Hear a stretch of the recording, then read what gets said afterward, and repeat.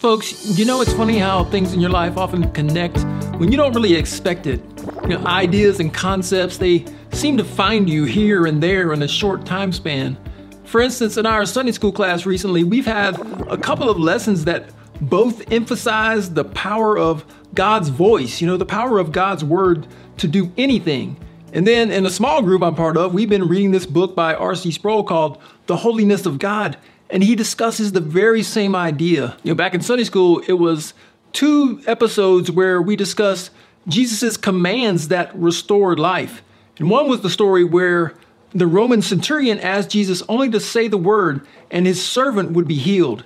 And Jesus, of course, was amazed by his faith because this was a Roman who knew somehow that Jesus had the power to heal even from a distance. And compare that to Lazarus' sister Martha.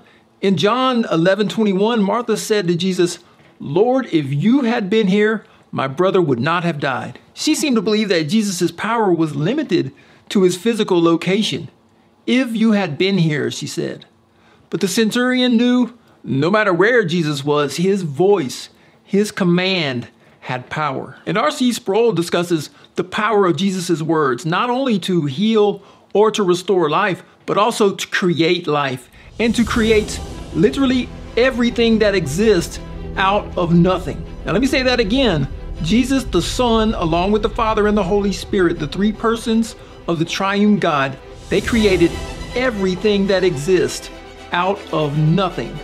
Ex nihilo, the saying goes, out of nothing. You know, we can't even really imagine nothing. Yeah, we could picture being in empty space, like in the space between Earth and Mars. but that's still space in which you can move around in. It's something. It's not nothing. Nothing is literally no thing. Nothing.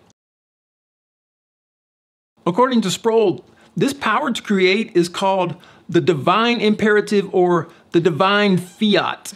No, not a holy tiny car, but the implementation of God's will.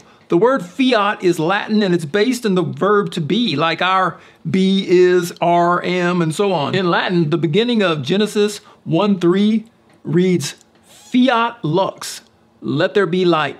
And of course, the rest of that verse goes, and there was light. Now, friends, that is power. Besides God, nothing existed, not even light, but God's voice, his command, made it be. He let it be, and it was. God created light and everything that exists ex nihilo, out of nothing. And we know that Jesus works together with the Father in the Spirit to create everything that exists. John tells us that all things were made through him, and without him, not anything was made that was made. Folks, some of you may be saying, that's great and all, but maybe you just don't realize what this means to you right now. How does this apply to what you're dealing with at the moment? Some of you have recently lost really close loved ones and you're hurting. Some of you are dealing with depression or anxiety, financial troubles, or just worry about the future. But if we really take a second to realize just how powerful, just how potent Jesus' word is to make things be, spirits can be lifted when we connect that idea with other words that he says. Like, for instance, when Jesus tells us, Come to me, all you who are weary and burdened, and I will give you rest. Take my yoke upon you and learn from me, for I am gentle and humble in heart, and you will find rest for your souls. For my yoke is easy and my burden is light. Or when Jesus says, I came that they may have life and have it abundantly. I am the good shepherd. The good shepherd lays down his life for the sheep. What about when Jesus says, In my Father's house are many rooms? If it were not so, would I have told you that I go to prepare a place for you? And finally, Jesus says, I have told you these things so that in me you may have peace. In this world you will have trouble, but take heart, I have overcome the world. Friends, family, I know that you've got suffering. I know that every one of you has some kind of heartache and worry. But hear the powerful voice of Jesus.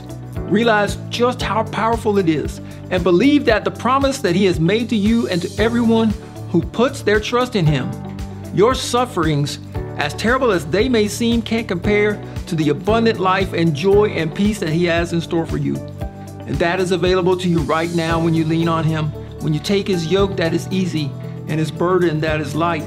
And when you hear and believe his word, his voice, if you're looking for healing, if you're looking for peace, if you're longing for relief, hear Jesus saying to you, let it be.